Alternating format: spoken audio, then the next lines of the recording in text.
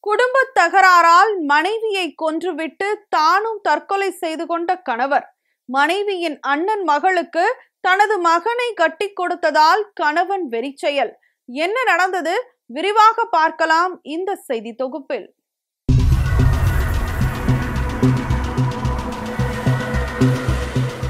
நாமக்கல் மாவட்டம் ராசிபுரம் அடுத்த ஈஸ்வரமூர்த்தி பாளையத்தை சேர்ந்தவர் செல்வராஜ். லாரி ஓட்டுநரான இவருக்கு திருமணமாகி ராஜாமணி என்ற மனைவியும் காயத்ரி என்ற மகளும் கார்த்திக் என்ற மகனும் உள்ளனர். இதில் கார்த்திக் கோயம்புத்தூரில் தனியார் நிறுவனத்தில் பணியாற்றி வருகிறார். இந்நிலையில் கடந்த சில மாதங்களுக்கு முன்பு ராஜாமணி அண்ணன் மகளான மகேஸ்வரிக்கும் கார்த்திக்கும் திருமணம் நடைபெற்றுள்ளது. அந்த திருமணம் முடிந்ததிலிருந்தே தம்பதியினரான செல்வராஜுக்கும் ராஜாமணிக்கும் அடிக்கடி தகராறு ஏற்பட்டு வந்துள்ளது.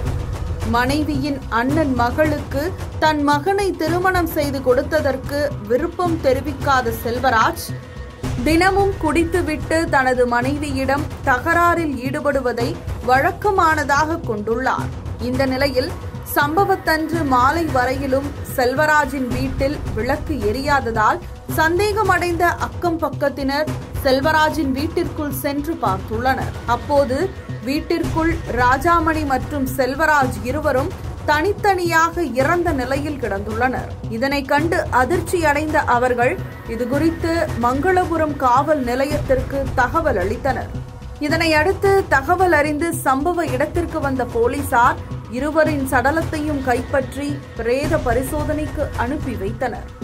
தொடர்ந்து போலீசார் மேற்கொண்ட விசாரணையில் குடித்துவிட்டு ராஜாமணியிடம் தகராறில் ஈடுபட்டுள்ள செல்வராஜ் ஒரு கட்டத்தில் தனது மனைவியின் கழுத்தை உடவையால் நெரித்து கொலை செய்ததாகவும் பிறகு பூச்சி மருந்தை குடித்து தானும் தற்கொலை செய்து கொண்டதாகவும் தெரிய வந்தது.